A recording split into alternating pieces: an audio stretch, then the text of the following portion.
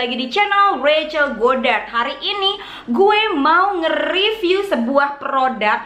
Ini adalah foundation aplikator yang bisa bergetar. Getaran-getaran tersebut katanya mbaknya nih yang jual Itu berfungsi untuk memasukkan foundation atau bedak semakin cepat dan semakin masuk ke dalam pori-pori gitu. Jadi um, kita nggak perlu lagi nih goyang-goyangin muka kayak ini udah bergetar-getar sendiri. Sah!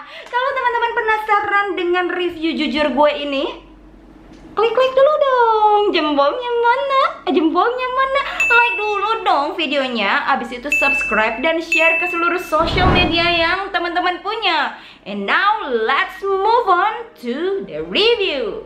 Ini kotaknya kayak gini, um, ada fotonya gitu, dia lagi pakai aplikator, terus di belakangnya flawless in the flash. Yaudah, gue mau langsung buka. Ini ada tutupnya, bisa dibuka. Eh, copot. Ini teksturnya lebih sponge, jadi ini buat yang liquid-liquid kayak foundation. Sama yang ini lebih halus gitu. Ini buat bedak. Kok nggak bisa? Dipencet. Nah, ini gemeteran nih. Anyway, gue bakal coba ini. Katanya untuk pertama kali nyobain ini, semua sponsnya, semua permukaan sponsnya harus dilapisin dengan foundation. Satu kali pump, diratain. Sekarang kita coba nyalain sambil diputer-puter juga. Uh, rada susah sih buat digerakin pertama kali, tapi mungkin ini karena baru ya Uh, ini ulasan pertama bagian sininya nih kayak udah flawless tapi ini kayak masih gumpal jadi mau gue pakein lagi? Um, bagian hidung rada susah ya buat diaplikasiin. Um, ini smooth banget sih kelihatannya. Tapi gue ngerasa ininya kayak udah habis jadi mau gue tambahin lagi. Oh my god susah banget ini aplikasi hidungnya. Oke, okay, bagian hidung kayaknya emang harus gue touch up dengan uh, sponge dulu nih. Hmm. Ini layer pertama udah gue aplikasiin ke seluruh wajah gue. Yang gue rasain, um, dia bikin foundationnya itu yang coveragenya full banget, jadi bikin medium. Di sini tuh kelihatannya muka gue memang kelihatan lebih flawless, sedangkan di bagian hidung menurut gue coveragenya sangat lumayan. Dan biasanya foundation gue ini kelihatan finishnya tuh berminyak gitu, jadi sebelum pakein bedak itu sedikit berminyak, sedikit oily. Tapi ini enggak. Sekarang gue mau pakein sponsnya ini buat bedak. Bedak oh ya satu lagi. Ini makan foundation banget. Ini bedaknya terus olesin gini ya. Terus dipakein di wajah. Uh, honestly gue suka dengan sensasinya. Sensasi dipijet gitu di muka. Tuh kayak enak aja.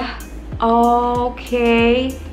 Ini flawless banget sih kalau pakai bedaknya. Coba kita lihat di bagian hidungnya ini. Oh gila sih ini coveragenya parah banget. Gue suka banget nih sama yang buat bedaknya.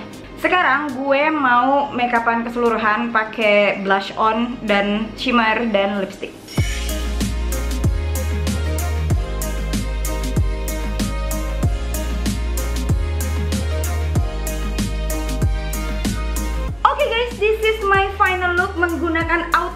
Foundation instant flawless color me. Ini gue belinya di Sephora Indonesia di Jakarta. Harganya 850.000 dan gue suka hasilnya terutama saat aplikasiin bedaknya. Walaupun saat pemakaian foundation gue nggak begitu suka. Dan menurut gue tuh kayak nyerap minyaknya banyak banget di sponsenya jadinya gue kayak sayang gitu. Biasanya kan gue cuma pakai satu kali pump dan itu udah seluruh wajah. Tapi tadi gue pakai dua kali pump. Terutama untuk aplikasiin di hidung foundationnya itu susah banget. Worth it apa enggak ya? Bayar 850.000 untuk hasil yang kayak gini? Hmm, have to say sorry, enggak deh. Kayaknya mendingan pakai spons aplikator atau kayak yang pas gue pakai itu spons yang buat baby cushion. Tapi karena gue penasaran banget kan, gitu ya, banyak banget yang udah nge-review ini dan gue udah telat untuk review ini. Tapi seenggaknya gue udah nyobain. Oh ya di dalam sini udah ada baterainya, so you don't have to worry gitu. 850 ribu. Sebenarnya aplikator ini juga bisa buat concealer dan blush on. Jadi keputusan Rachel Gold order untuk aplikator ini by our by adalah rom bye by Bo, please deh. 850 ribu mahal banget. Oke okay guys, sekian dulu review dari gue. Kalau teman-teman suka dengan video ini, kasih like dan subscribe Dan aktifin notifikasinya nih yang gambar lonceng Karena ada dua video baru setiap hari Senin dan hari Kamis Teman-teman juga boleh request dong komen di bawah produk apa Yang harus gue cobain Dan gue kasih review jujurnya kalau teman-teman belum nonton video gue sebelumnya, bisa klik di atas atau di bawah sini. And once again, thank you so much for watching. I'll see you on my next video.